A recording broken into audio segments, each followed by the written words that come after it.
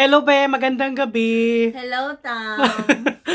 Anong pangalan mo po? Rose Ann. Hi, Rose. Taga saan ka sa atin, Rose? Ah, Quezon City. Quezon City? Mm-mm. Wow. Um, ilang years o months ka na ito sa Croatia, Rose? Magwa one year na ako this coming October. Wow. Congrats. Yes. Congratulations. Magwa one year ka na. Mm-mm. So, Rose, um, bago ka dumating dito sa Croatia, ah, pwede mo ba may share ang agency mo or direct ka ba? Ano, galing ka sa Pinas or sa Middle East? Galing ako Middle East. I'm Wow. from Qatar. Qatar, oh yes. Sa mga taga-Qatar dyan, makinig kayo Yun, kasi mga may taga i-share sa inyo si Rose. So, umpisa na natin. Ano agency mo doon sa Qatar, Rose? Worldwide connection ang ano ko, ang agency ko sa Qatar. Saan yan makikita? Sa bandang ano siya, bandang Binma, ano, ah, Mansura ata? Hindi ko, Sa- nakalimutan okay. ko na yun. Basta Bas- worldwide connection siya. Okay, basta worldwide connection. Mm-mm. So, ah, ilan, ah, magkano bang placement fee nyo doon? Ang, place, ang placement fee namin doon, before, nung nag-apply ako, it's 3,000 real. 3,000 real. Mm, So, libre na 3,000 yan lahat. O kayo pang magpa-stamp or... Kami, yung ano lang, placement fee lang yun. Pero yung mga ibang requirements, kami na yung nag-provide. Mm. So, anong year ka na nag-apply doon, man? Year 2023 ata, oh, 23. Mm. Ilang batch kayo? Kasi sa batch namin, ang dami namin ng batch nung una eh. So, um, nung, si- yung nag-apply kami, kami yung first batch, then may mga sumunod pa na batch. Mm. So, yun, ang in-applyan mo is natupad ba pagpunta mo dito? Anong in-applyan mo doon? Ang ang applyan kasi sana namin before is ah, sa ano sa hotel. So Hotel? hindi siya nag So nung nag-apply kami noon, nung nag-wait kami for working permit, natagalan kami ng Mga ilang ma? process. Pero may nauna na sa amin. Mm. May nauna na sa amin before kami mag ano, mag-iba ng work dito.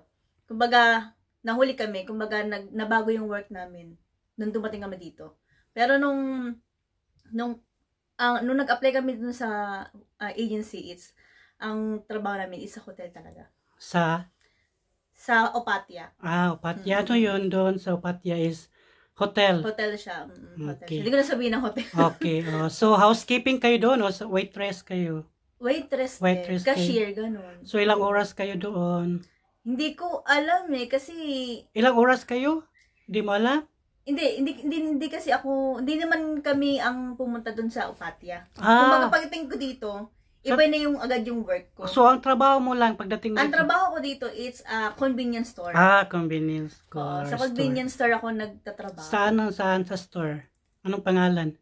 Sa MIP. Okay. MIP yung work ko before. Eh, tapos, ilang hours ka sa convenience store dati? Seven hours duty din siya. 7 hours. So, libre na kayo lahat. Libre kami accommodation, libre kami, oo, libre, libre. Pero Oh. pagkain, sa amin.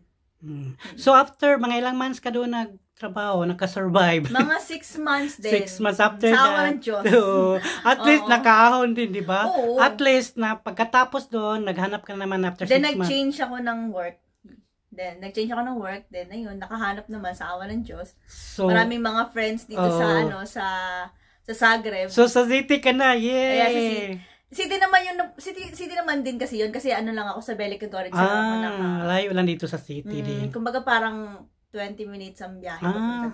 Parang dyan lang naman pag sakay isang bus lang. Ay, So, dalawang bus. ganun. Okay, so ngayon, mag-usap tayo sa bago mong trabaho dito Yay! sa, yay! Fresh sa top. proper, so, ano nga trabaho mo dito, Rose? Sa kitchen. Hmm. Kitchen minsan cashier, ganun. So, ano yung store na yan? Pagkainan? Sa Fresh Tacos ako nag-work. Wow! Saan ka na-sign? Ah, kitchen tsaka cashier. Minsan kitchen, minsan cashier. So, ilang oras kayo, be? Seven hours lang. Seven hours. So, may palitan kayo. Mm, mm, mm. So, mga Ano Pilipino kayo lahat o may ibang lahi? Sa, mm, may kasama kong, sa, um, sa morning may kasama akong Moroccan. Nakasama ko yung work, ka-work ko na Moroccan. So, Rose, ah, ano be? Ah, nung nakalipat ka na, libre ba kayo ng bahay dito? Or depende sa iyo ano bang ano sa amo mo? Anong mga libre niyo? Doon naman sa, ano namin, sa work namin, libre naman ng food. Libreng Libre ngayon. naman ng food. Bahay. Bahay, oh. Libre ano din siya, bahay. live out naman siya. Okay naman siya. Hindi naman siya, hindi naman yung work na napakahirap. Mm. Kasi yung, may dine-in naman kami, kaso nga lang madalang ang dine-in. Mm. Ang pinakamabenta sa amin, it's like yung mga delivery, ganun, mga Bolt, mga Wolt, mga Globo. Yun yung pinaka ma- malakas, lalo na pag winter. Ngayong, man, ano, winter. Ah, so yung mag-pick na kami up. ngayon. Mm, so yung mag-pick up ng ano dyan, mga... Pick up ng mga delivery, mga Mm. food. dun. So, okay lang ba yung mga kasamahan mo or yung amo mo? Yung, oo, yung boss ko kasi, parang business partner kasi sila Mm. dun. Ay, Alam ko ah, yun yung pagkakaalam ko. I mean, Tapos yung mga kasamahan mo, okay lang sila. Hmm, mga kasama ko, mga, mga kasama ko taga Kasama oh, magka, magkano kayo? Um, magkaka-roommate, ganyan. Mm. Tapos, ah, ano ba yan, bago ka nakapasok dyan, saan ka nakakita ng trabaho na to? Saan ka nakahanap? Dito lang din sa ano, sa mga common friends, ganun, tanong-tanong. So ngayon, nandito ka na sa city, sa sentro, sa proper, dito sa Yes, city. Ano masasabi city. mo dito? Kaya okay lang, maano Enjoy. naman, Mm. mm, enjoy din naman. Matao, ganun. Tama. Doon kasi sa ano sa doon sa may pinuntahan ko kasi ano naman siya city kaso nga lang hindi siya yung katulad dito talaga. Oo, kagaya sa akin doon, walang masyadong mga tao, parang probinsya. Ah, true. Oo. So, Be, um, anong masasabi mo dito within one year? Mag one year ka ngayong October. Anong masasabi mo sa Croatia? Uy, Sa Croatia, Oo. okay naman siya. ano na experience mo dito? Winter, summer? Lahat, lahat, lahat na. experience mo na. Oh experience my ko na. God, Mm, sana Gusto all. mag-winter na ngayon, kailangan na na ng ano, kailangan na ng mga Winter jacket. Winter jacket, ayun. Kailangan na ng mga, alam mo na, panlamig. Mm. Ngayon, nag-start na siya kasi umuulan na, lakas ng ulan. Sunod-sunod na araw na. Okay. Anong masasabi mo sa mga tao dito, mga Croatian? Ma- mabait naman sila. Hindi naman sila katulad ng mga ibang ano. Kung, Mm. di, yung may, ma- may mga tao naman kasi na ano na, syempre, yung tao, kumbaga, nasa ugali din naman, di ba? Katulad din naman ng mga Pinoy. Hindi naman Mm. yan katulad ng mga, kung ano yung ugali ng Pinoy, parang ganun lang din ang ugali nila. Oo. Ganun lang din. Kailangan Para sa akin ah, for me ah, Oo. pero hindi ko na lang alam kung isa ibang tao. Okay naman sila kung pakikisamahan mo, pakikisamahan mo lang din. Tama. Kaso may mga Croatian din naman na, alam mo na, na, hin- na hindi magandang ugali. Sorry sa words, pero totoo yun. Gaya din sa mga Pilipino din, di ba? Oo, Kasi din naman. iba-iba tayo mga ugali, oo, di ba? lahat naman ng tao. Hi Rose, Hello. may tanong lang po ako. Ah, within one year mo dito sa Croatia, nakapagbakasyon ka na ba sa ibang country or may balak ka pang magbakasyon, ka bang magbakasyon? Ay, oo.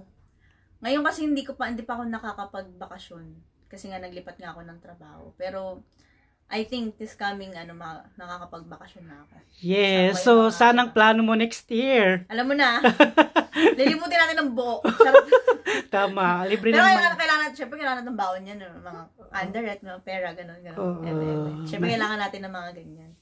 Ipon-ipon muna tayo. Oh, mahirap pag walang bala, di ba? Ay, oo. Mm-mm. Lalo na pag wala kang trabaho, yun yung pinaka masakit. Okay, Day, ah, ano bang mga ibang na-experience mo dito sa ah, maliban sa alam ko naman yung bisang ah, bilang isang OFW, 'di ba? Marami tayong mga experience sa misa na doon sa ah, magtrabaho tayo. Anong dapat mong gawin sa mga ganyan na sitwasyon? Ang ma-advise mo? Ano lang, kailangan mo lang, pag nag-abroad ka kasi, kailangan mo ng pakisama talaga. Yun yung pinaka number one na dadalhin mo dito. Lalo na pag um, first time mo sa iba sa i- sa, i- sa isang bansa, pakikisama talaga. Pakikisama sa Sa ibang tao. Mm, Lalo na, I mean, may mga tao, may mga tao din naman kasi na, lahat naman kasi ng tao hindi naman pare-pareho ng ugali. Kumbaga, syempre may mga pakikisamahan mo at may mga, may mga tao din naman na hindi mo pwedeng pakisamahan. Pero nasa sa'yo yun, kung pa, Mm. pakikisamahan mo sila o hindi. Saka marami din may kaibigan, 'di ba? Oo. Marami din, ayun, at least kahit papaano, may mga kaibigan ako na, na, na, na, na tumulong Mm. Kaya, pag sila naman ang lumalapit naman sa akin, eh, tulong-tulong din naman. Give and take, ganun ba? Ganun lang naman. Hindi naman tayo iba. Hindi rin, katulad ko, hindi naman ako iba. Kung ano lang yung kaya kong maitulong, yun lang din na ibibigay ko. Ganun. Give, give and take lang sa mga kaibigan. Lalo yung mga kasama ko dito. Mm. So yan na po, nasabi mo na. So ano bang mga ah, pagkain na dito? Okay bang mga pagkain na dito? Nakatikim ka na ba sa mga pagkain na dito? Ay, oo. Masarap ba? Mm-mm. Mm. Ano, nakahanap ka na ba ng apam dito? Di pa nga eh. Marami kayo mga apam dito, no? Di ba? Wala ko nakahanap. May wala nga, wala Hindi. talaga. Hindi mo sila hanapin. Dapat silang maghanap sa'yo, di ba? Oo, Hindi ko lang alam. Kung talaga yung fest natin na talagang pang-afam talaga. Oo, someday. Baka Oo. darating din yan. Oo. So, B, magtanong ako sa'yo, um, ano, ah, pwede mo bang, ma okay ba sa'yo ma-shoutout yung mga pamilya mo dito sa, Pilip, doon sa Pilipinas? Ah, Oo naman. Ah, shoutout sa mama ko. Okay. Yan. Sa anak ko, nag-iisang anak ko. Ayan. Hello, Wow. shoutout Ashika. Yan. babae? Babae. Ilang taon na? Mm, 12 years old na siya. Okay, baby, si mami mo andito hanggang ngayon. Ah, lumalaban pa din True. para sa future mo. So, ingat ka lang, magpakabait ka dyan. Mm. Para ako nang nag-goodbye.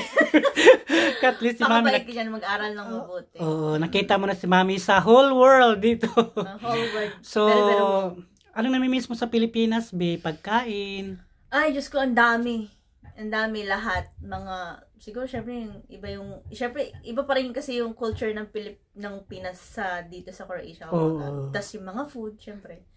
Although, may mga food naman dito na mabibili mo, kaso nga lang, ang mahal. Medyo mahirap hanapin, kasi nga hindi pa siya hindi pa siya masyadong common. Hindi katulad sa Middle East na talagang pag nakahanap mo, it's nandun na ma- mabibilang ka na. Dito kasi ano, hanapin mo pa kung saan, ganun. Nakakamiss yung mga street food sa Pinas, ayun, mga yung mga natural, yung mga natural na pagkain, katulad ng mga gulay, yan. Dito kasi madalang yung mga gulay-gulay dito. Ang balot, di mo namimiss. Siyempre, okay. Hey, Rose. hello again. Okay. May masasabi ka pa ba? Wala Ayan, na. si Tamtam kasi bago ako pumunta dito ng Croatia, nagsisearch na kasi ako before kung ano yung mga yung mga ano mga ano dito, mga bawal dalhin or MM, ganyan ganyan. Ganun ba? Salamat. eh siya yung laging nandun sa may ano sa may TikTok, mga Mm. YouTube, siya yung unang-una number one na, na, na lumalabas doon pag naki, pag sin- ano pag tinatype mo yung ano mga vlogger sa Croatia. Wow, Siya salamat, yung unang lumalabas. Rose. Ayun. Don't forget to subscribe, comment, and like the page of Tamtam. Yan. Thank you kay Tamtam kasi Okay. na-interview na ako. Dito na pala siya nakatira. Salamat. Salamat, Rose. Oh, thank you. Thank you, Dad. Hi Rose, balikan Hello. kita be. Ah, ano mo bang ano bang ma-advise mo sa mga kababayan nating balak magpunta dito sa Croatia lalo na sa Middle East, sa Qatar o sa ibang countries sa Middle East? ano lang, ano lang, mag, ano lang, um, pakatatag, yun lang. Ah, ano ba yan ang tawag doon yung, tibayin yung loob. Kasi pumunta naman tayo dito para sa sarili natin. Kumbaga, syempre, kailangan natin ng um, be strong to yourself, number one. And syempre, ah, lagi mag-pray kay God na mahirap kasi magkasakit dito lalo na pag nasa ibang bansa ka. And then, syempre, malayong pamilya mo, walang mag-aalaga sa'yo. And, um, patuloy lang ang, ano, buhay. Ganun lang. Basta pag may, ma- pag may, ano, may trabaho, go. Carry. Di ba? Ganun lang ang, ano, laban. Basta laban lang. Ganun. Okay, salamat Rose ha. So, ano nga pala yung ah, masasabi mo sa agency doon sa Middle East, Qatar? Ay, Parang- ah, sa worldwide connection, ayun, maraming maraming salamat kasi Okay. nakapunta ko dito. Oh, so, so saan mo saan? Meron ba silang Facebook page? Ah, meron silang, ah, kung gusto niyo mag-apply sa kanila, ah, worldwide connection lang. Yun yung itatype niyo sa FB, sa Facebook nila. Sa Facebook niyo pala, sorry. Okay, thank you Rose. Salamat Thank ha. you. Thank Mga kabes, please support my channel, like and subscribe para masaya ang buhay. Hanggang sa sunod kong vlogs, baka magkita tayo dahil sa vlogs nito, ikaw ang bida.